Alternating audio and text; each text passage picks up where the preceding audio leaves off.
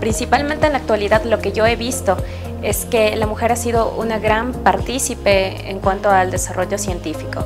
Eh, personalmente tuve la oportunidad de realizar una instancia de investigación en Polonia y tuve la gran oportunidad de, de ver que la mayoría de científicas en Polonia eran mujeres, científicas como lo dije, mujeres. Y si hablamos de nuestra institución en la Escuela Politécnica Nacional, en nuestra facultad podemos ver grandes ejemplos de muchas docentes investigadoras que están aportando a la ciencia del país. Entonces, a mi parecer, ha sido un gran papel el que la mujer ha estado desempeñando actualmente en el desarrollo científico. Yo considero que la educación es la base para conseguir, libertad eh, y la base para desarrollarnos.